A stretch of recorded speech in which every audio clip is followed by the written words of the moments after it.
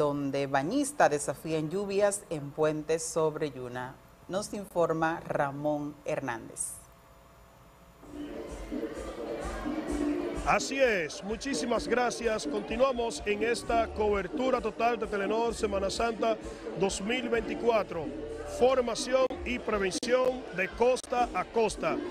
Continuamos sobre el puente del río Yuna, ubicado en noroeste del municipio de Las Guaranas. Y como podemos ver, señores, ahora acaban de llegar más personas a este populoso balneario para disfrutar del asueto de la Semana Mayor.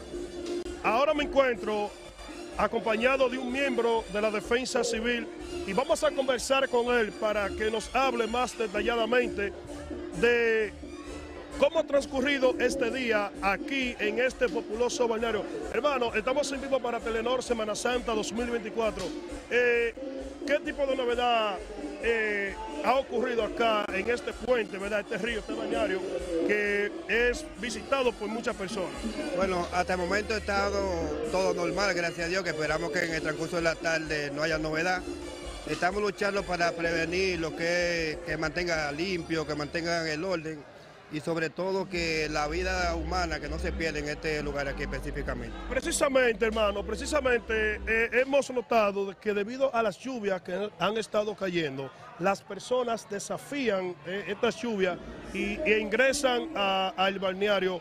Eh, ¿Han orientado ustedes a, los bañistas para que se mantengan a las orillas de este río? Estamos previendo especialmente con los niños, que los padres que tengan uno. Este río como está controlado por la presa, un poquito mejor que los otros lugares de, de bañero que tenemos aquí. Pero sí estamos medidas, tenemos personal distribuido en todo lo que es perímetro de aquí, de Río Yuna, y específicamente estamos pidiendo a las personas que están tomando alcohol, cuál es la medida que tienen, para pedirle a Dios que todo salga como hasta el momento está pasando. Y la música se está permitiendo, vemos que escuchamos que hay un vehículo aquí con música. Eh, la música aquí está permitida hoy, eh, a diferencia de ayer que estaba todo prohibido, pero con su medida.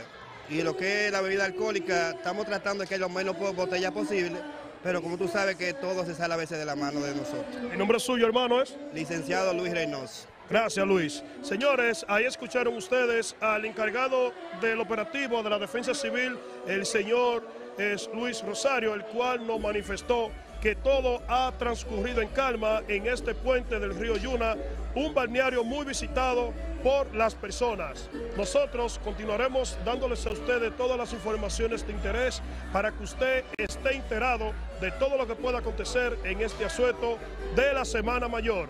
En cámaras, el main, un servidor, Ramón Hernández, retorno con ustedes. Gracias Ramón Hernández, gracias Ramón Hernández por tan interesante reporte, señores. La lluvia no ha parado la fiesta de aquellos que han decidido irse a los ríos, a los balnearios, a disfrutar de este asueto de Semana Santa. Pero qué bueno que lo han hecho la mayoría con prudencia.